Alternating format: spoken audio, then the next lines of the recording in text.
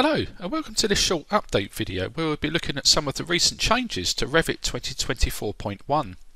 For this video we will focus on the updates to the rebar tools, particularly with regard to tagging and editing of the bar. Before we look at that though, let's take a look at the Properties palette and the Project Browser updates. In Revit 2024, Autodesk gave us the ability to search and filter in the Project Browser. So let's just take a quick recap of that so in this example here, for example, if I'm looking for the word east, I can just type that in and the project browser is actually filtered and searched. What we can now do is hold down the control key and then with the mouse wheel we can then zoom in and out of each of these palettes. It's particularly useful on the properties palette so you can see I can't quite fit everything in here. Now of course I could stretch that to make that a bit wider but then I lose a bit more of my screen. So a really useful thing here is just to better zoom out a little bit there so I can still read all of the text but I can now fit everything in. Okay so let's now have a look at some of the tagging improvements to rebar. So this is quite significant. We'll take a look at the multi-rebar annotation. So I'm going to select the annotate tab and I'll select multi-rebar annotation and here we'll use the aligned multi-rebar annotation.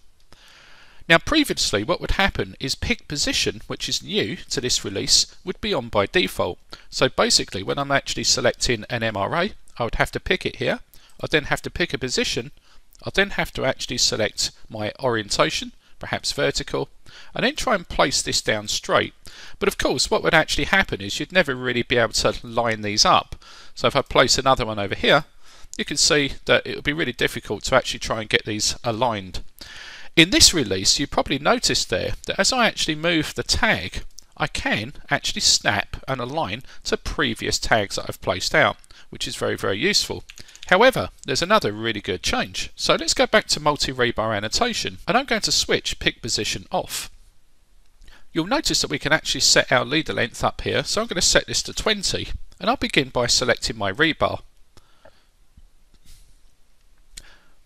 I'll then pick a place here and you can see straight away that the MRA is placed down and the tag is placed as well. Now what's really useful with this is I can just continue to go through the project and you can see then that we get this really nice consistent way of tagging up the reinforcement bar. So this is much much better than it was in the original 2024 release. As I said before, if the tags aren't aligned, then we can actually edit them. So if I place this tag here, you can see that that's not actually aligned. So I'll select this by pressing the tab key I can then just use the move tool and can you see that it's now snapping to all of those other tags that I've just placed out. So that allows us to get very precise and accurate placement on all of the tags. Another nice feature here is to directly edit the reinforcement bar in the canvas. So I'm going to switch now to section 1 and we can see here we have this U bar what we'll do is we'll just isolate this for a minute. So we'll go to the isolate elements and we'll isolate this particular rebar here.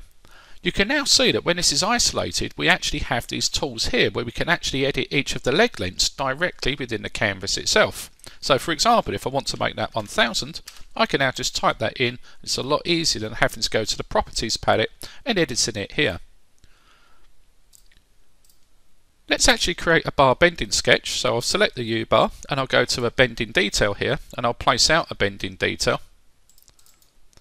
And now we can have a look at that in canvas editing again. So of course, if I go back to leg length A, which is currently 1000, let's say I want to update that to 800, we can see the minute I change that there, everything else is updated within the model.